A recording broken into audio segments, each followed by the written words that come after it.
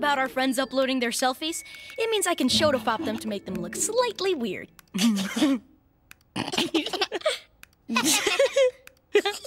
oh, wait, no, Sussie looks kind of better there. Now let's upload them. Ah! Get away from the computer now!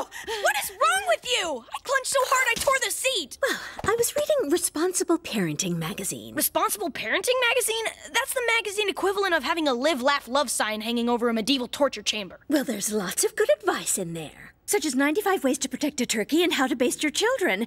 No, oh no, wait. Uh, um, ooh. Ah, and what's the scare hoax of the month? Someone found a bazooka in their kid's Halloween candy. Rap music made my nephew eat his own face. Video games played backwards will summon the Prince of Darkness. no, it's about protecting your children from the dangers of the internet. Okay, fair enough. I've got nothing sarcastic to say about that. Good. So when you're online, make sure to leave the spell checker on, Okay, why?